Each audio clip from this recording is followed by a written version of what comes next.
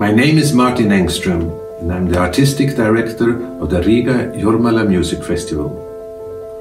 Together with my collaborator Miguel Esteban, we would like to send many greetings to all festival followers, wishing you good health in these very unpredictable times.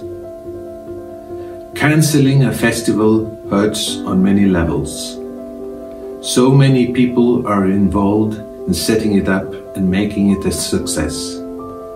I'm thinking of, apart from all the administrative staff, the artists who will have no concerts this summer, the stagehands who will have no income, and you, the public, who will be deprived of that unique experience of listening to your favorite pieces of music with your favorite artists live.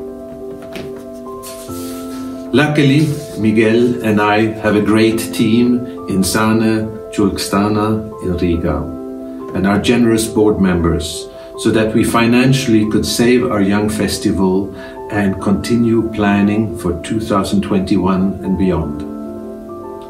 We're very motivated to continue building on the success from last year and to further establish a classical music festival that all of Latvia can be proud of. We have also managed to initiate an online academy which will continue throughout the summer. We hope that this will be helpful and appreciated by many students and music lovers. I wish you a wonderful summer and I look forward to seeing you in the summer of 2021 again. Thank you.